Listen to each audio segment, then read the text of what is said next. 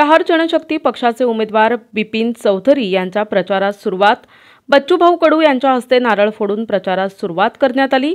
यवतमाळ येथील कळमचौक येथे बच्चूभाऊ कडू आणि बिपिन चौधरी यांचा भव्य स्वागत करण्यात आले. यावेळी कार्यकर्ते आणि पदाधिकारी नागरिक उपस्थित होते. प्रतिनिधी Kalim Khan N T V news Marathi Yavatmal.